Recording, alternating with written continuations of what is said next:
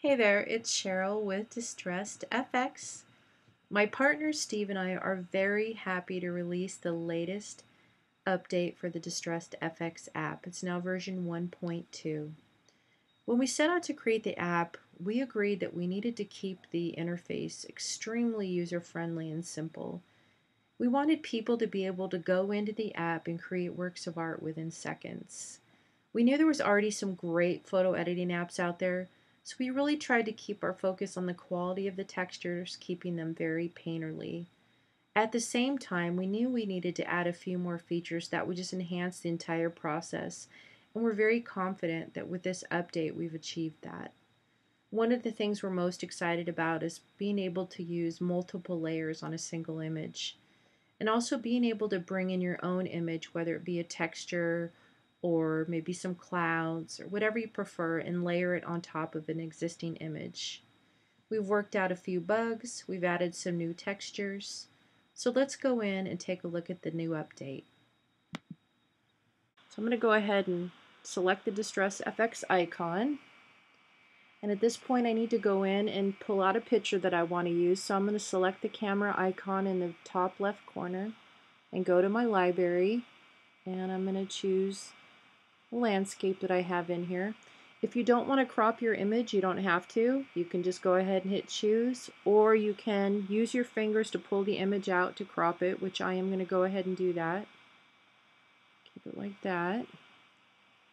Okay, one of the new features that we're really excited about is the ability to multi-layer on top of your image. So what I'm going to do is I'm going to select the icon on the far right it says custom with a little arrow and it's going to take me back out to my library where I can select an image. Keep in mind that you can pull in textures. You might have your favorite texture on your computer. You can bring it into your camera roll and go ahead and overlay it on your image. Or you can do like I'm going to do. I'm going to select some clouds. I'm going to go ahead and crop it and hit choose and at this point it's going to layer it right on top of my image. Now I still want to be able to come in and add texture and normally you would have had to have saved the image and then come back in with it but now you can go ahead and take your finger which you're not going to be able to see me do this but I'm going to go ahead and take my index fi finger and I'm going to press the image on my phone or if you are using your iPad I'm going to press and hold and at this point I can either select to keep this or I can cancel it. Now keep in mind, once you flatten your image, you can't go back. But I am going to go ahead and select OK. And once that flattens, now I can come back in and add additional images or texture or a gel, which we couldn't do that before, so it's a really cool feature. So I'm going to go ahead now and select a texture. Just going to kind of scroll through and see where I want to go with this. I think I'm going to go ahead and select cedar. And then another new feature is that we have added some, some new birds. The bird overlays have been really popular and they're one of my favorite features of the app as well. I'm going to go ahead and select gathering, which is a new one. Now at this point, I'm going to take my finger, I'm going to press and hold on the screen, and I'm going to flatten it again and I'm going to come in and I'm going to add some more birds. I'm going to pick Alfred. Then I'm going to flatten it again. So you have the ability to just multi-layer as much as you want here, which will really build up the dimension on your photo.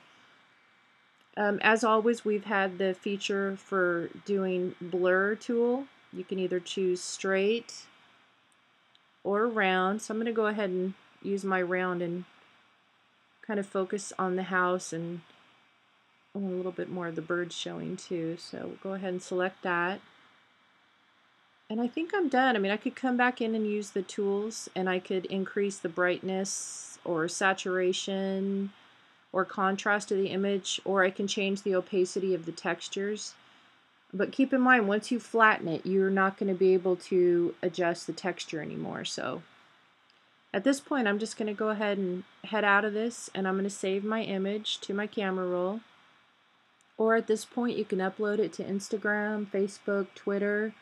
Um, we also um, made it possible to upload your images to your social networking sites with a little bit more speed. So, and that's it. Please join our Facebook group. Just do a search for Distressed FX. And thanks for peeking.